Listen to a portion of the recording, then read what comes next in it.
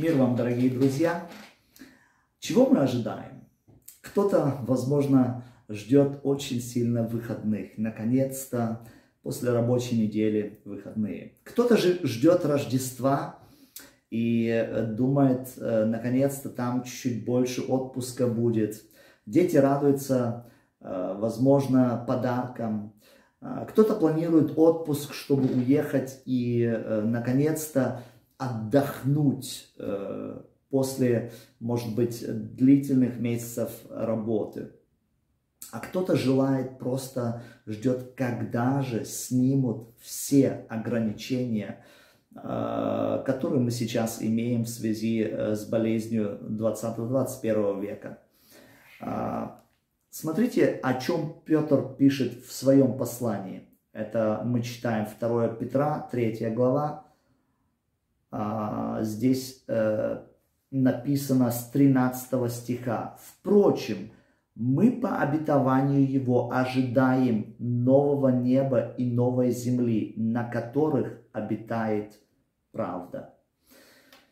Я не знаю, как вы себя чувствуете, но э, я иногда устал и устаю, особенно в последнее время, от лжи, которая распространяется через средства массовой информации, начиная с политиков, о болезни, Э, которая как бы якобы есть, и э, нам рассказывает, как она страшна, и вот, это, вот этот мусор, ложь э, льется каждый день, просто до, до предела. И мы спрашиваем, а почему это несправедливость? Откуда эта несправедливость? Я думаю, многие ждут, ну, Господь, почему ты молчишь? Ты же как-то должен восстановить эту справедливость. Интересно, что Петр пишет, что мы ждем новое небо и новую землю, в которой будет, как мы прочитали здесь, обитает правда, справедливость. Родные, к большому сожалению, на этой земле, покуда мы живем, а, не будет правды. Мы видим и слышим столько лжи. Мы устаем, возможно, от этого. И наша надежда, что однажды в присутствии Бога, а Бог есть правда, Бог есть истина, будет искорена всякая ложь, всякая неправда, всякое нечестие. И это наша надежда, что на новом небе и на новой земле будет правда.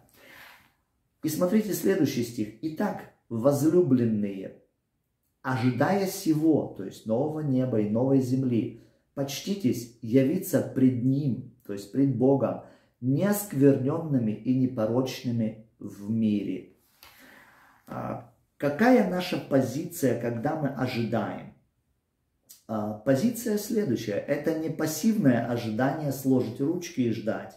Здесь Бог призывает нас к активности, то есть работать над своим характером вот в трех и три, значит, э, сферы он говорит нам, да, а, чтобы явиться неоскверненными. А что значит оскверниться? Человек может оскверниться грехом, а, конечно, неправдой, ложью, то есть разными грехами всего мира. И поверьте, сейчас, когда так много лжи, так много неправды, люди ссорятся, так нелегко остаться чистым. А, в немецком переводе это написано unbefleckt, то есть э, не запачканным, а, вот, не оскверненным, не запачканным. Подумайте, если у вас дорогая одежда, но на ней жирные пятна, одели бы вы ее на, на воскресенье или на свадьбу куда-нибудь, или на собрание, возможно, вы скажете, да разницы нету, сколько она стоит. Если на ней жирные пятна, то ее невозможно одеть. Она грязная, нужно выстирать. А, вот об этом как раз Библия и говорит. Когда Христос придет, Он хочет найти невесту, свою церковь незапятнанной, неоскверненной, да, в непорочными, без порока, то есть без пятен. Это в этом же направлении идет, когда мы говорим э, порочный человек, какой-то порок. Это значит, есть недостаток, есть грех, который нужно удалить. И последнее здесь качество в мире, то есть непорочными в мире. А, мы живем, как я сказал уже, средства массовой информации настолько много лгут и стараются поссорить людей.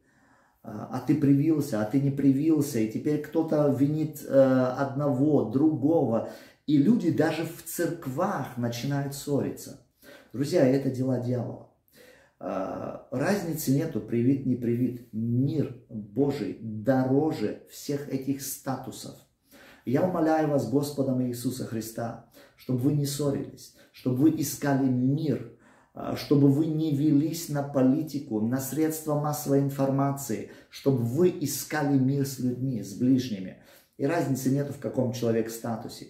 Поэтому я очень желаю, чтобы мы сегодня ждали Иисуса Христа. Готов ли ты? Чего ты сегодня ожидаешь? Я желаю тебе, чтобы ты был готов к новому небу и к новой земле. Аминь.